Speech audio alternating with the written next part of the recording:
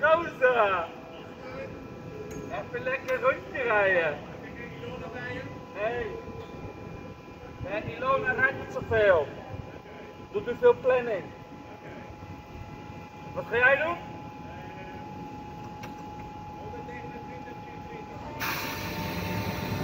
Sterkte.